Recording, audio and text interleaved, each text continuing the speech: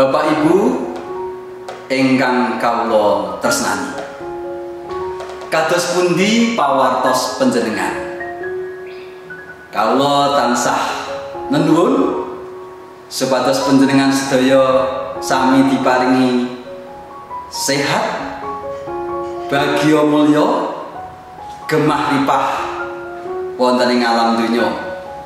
Bapak Ibu, kula gadah setunggaling cariyos. Wonten sawijining reuni tiang-tiang sami magempal. Wah, sami remen sangat.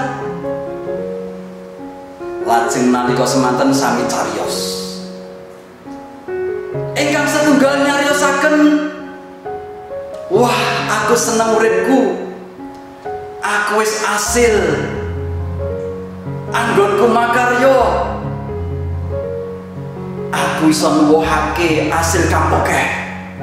Saya kuwi ndek omah telu. Mobilku limo. Sing tak impenake ket jaman cilik.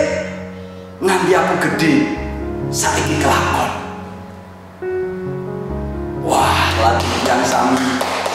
Sorak-sorak.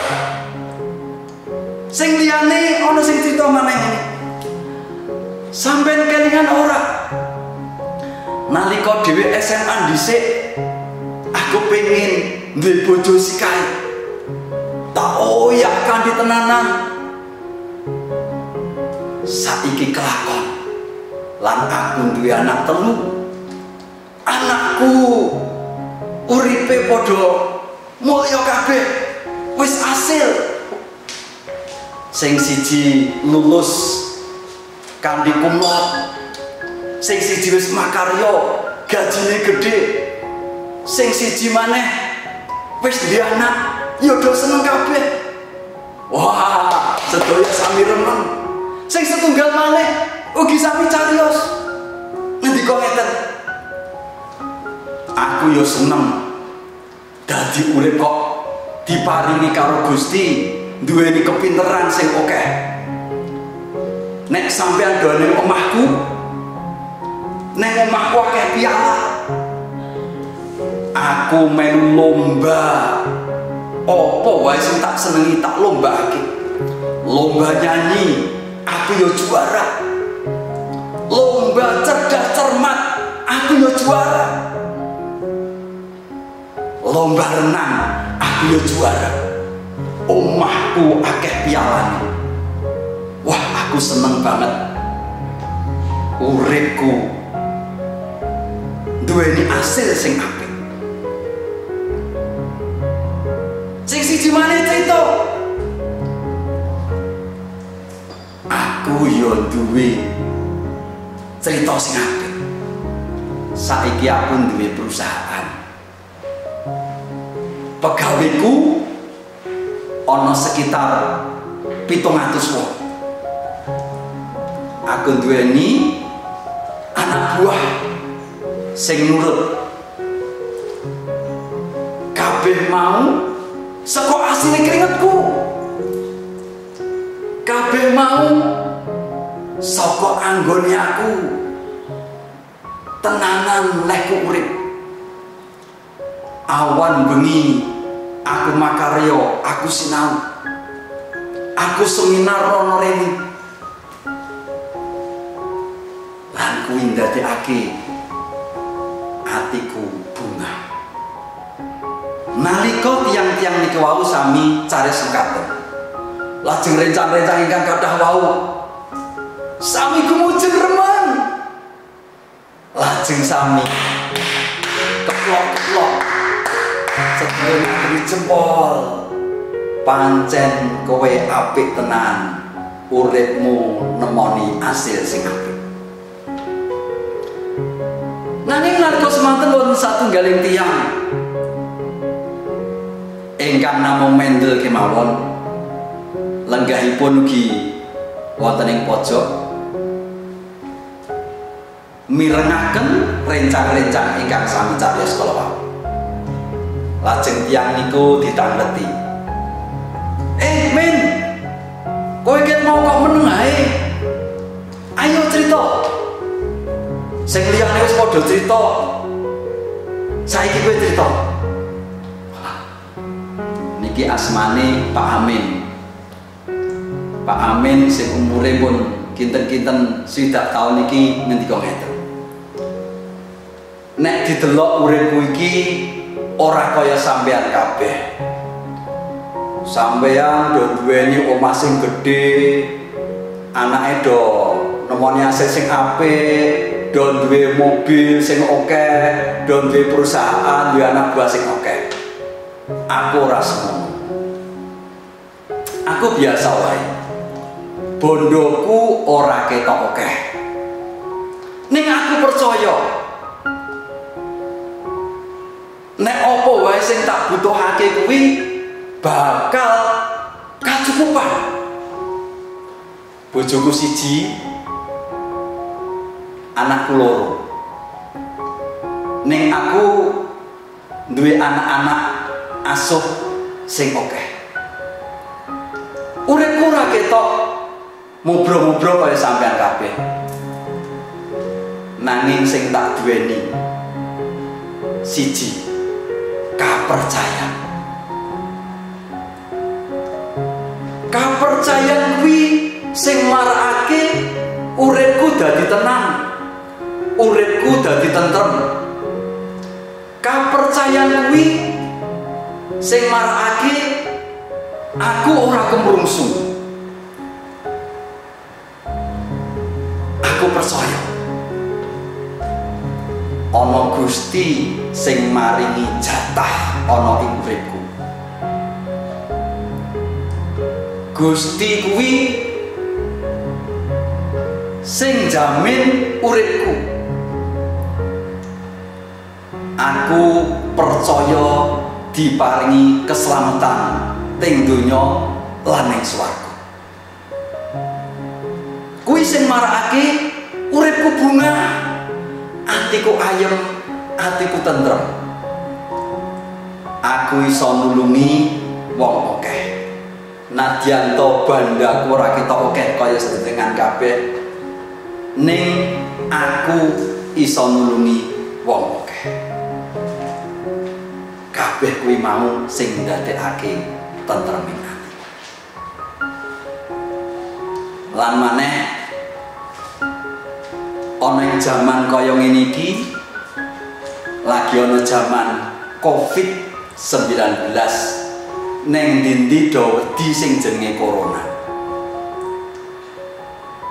Sapa wonge sing ora wedi? Ning nadyan to kahanan donya kaya ngene. Atiku duwe pengarep-arep. Liyane padha wedi. Sing wingi do katon sugih do wedi. Sing do duweni pangkat nyatani ya do wedi. Sing anake do mulya nyatani ya do ndirasa wedi. Sing pabrike gedhe padha wae kabeh do duweni wedi. Ning aku duweni pengarep-arep sing gedhe. Ana Gusti sing bakal nulungi aku. Sing penting. Nalika aku iki lunga aku nganggo masker.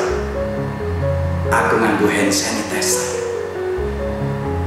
Ning aja lali saben dina aku ndonga nemuwun marang Gusti.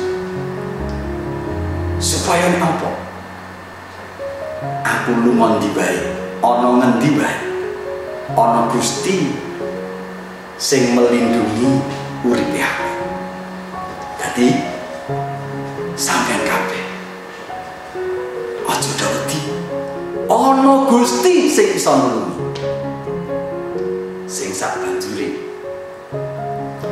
Ana ing atiku ini ana sing jenenge katresnan katresnan sing ora iso luntur mergo apa wae? Katresnan mergo apa katresnan mergo ana Gusti sing maringi. Kepercayaan ning atiku katresnan iku tak temokake nalika aku umur 19 tahun. Nalika semono aku lagi ngalami sing jenenge kelangan katresnan. Aku rumangsa bapakku ki ora tresnani aku. Aku goleki sapa sing iso tresnani aku? Ning pranyata katresnan saka menungso kuwi ora sing langgeng. Aku nemokake sing jenenge katresnan saka Gusti sing arane Gusti Yesus Gusti mau sing lumebet ana ing atiku lan maringi pengharapan. Di ngapura ya. Aku cerita kaya ngene iki. Amarga aku ora ana sing tak banggakake kejaba min aku duweni kapercayan pengarep-arep lan katresnan sing sejati nah katresnan sejati ki mau ora bakal entek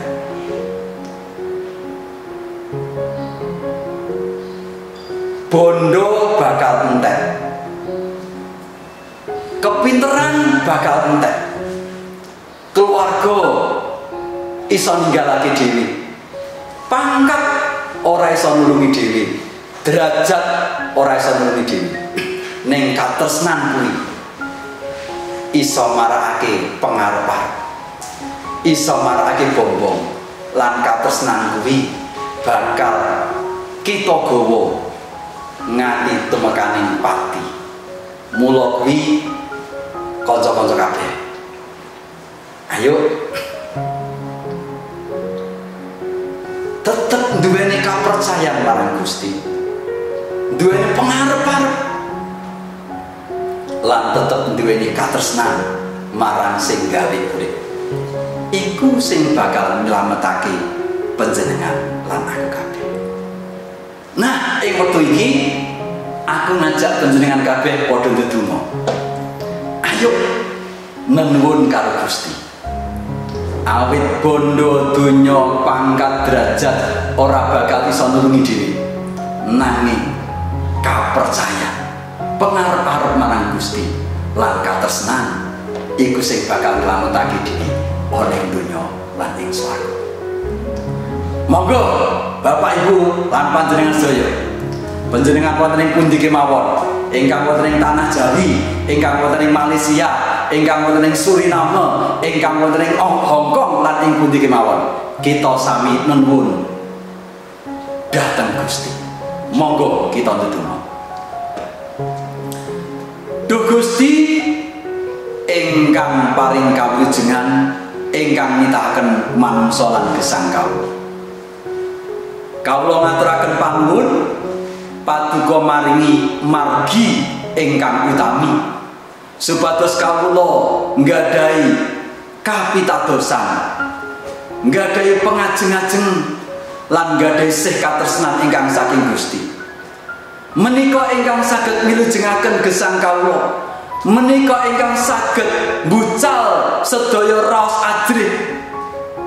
Lan kawula pitados margi ingkang saking paduka menika ingkang badhe ndadosaken gesang kalih alam donya menika nemai bunga sukarna urip ingkang berhasil lan slamet ing donya lan ing swarga matur nuwun Gusti.